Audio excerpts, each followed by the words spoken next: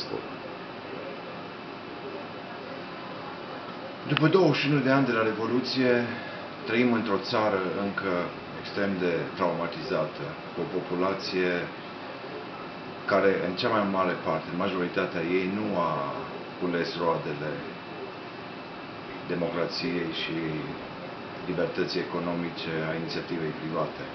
Mai ales în ultimul an, cu această criză care a eh, redus calitatea vieții, Uh, nu mă mir atât de mult că mulți regretă în ultimele sondaje pe Ceaușescu și regretă, regretă securitatea socială pe care regimul, regimul socialist o asigura.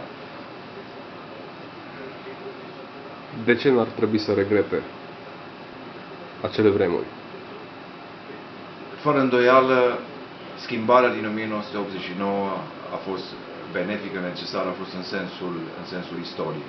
Eram într-o, eram într-o fundătură a istoriei, uh, ieșisem practic din istorie, nu aveam niciun viitor, uh, țara era într-un marazm total, uh, planurile de dezvoltare economică ale așa zisului socialism multilateral dezvoltat eșuaseră lamentabil.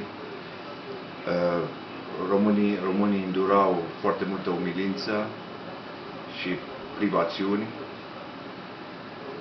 La ce te gândești? La ce privațiuni? Păi, în primul rând, sigur, privațiunile economice, uh, umilințele de zi cu zi ale procurării celor necesare traiului și apoi, sigur, umilința morală, uh, viața, într-o, viața într-un regim de, de teroare generalizată și de, și de un cult al personalității deșerțate.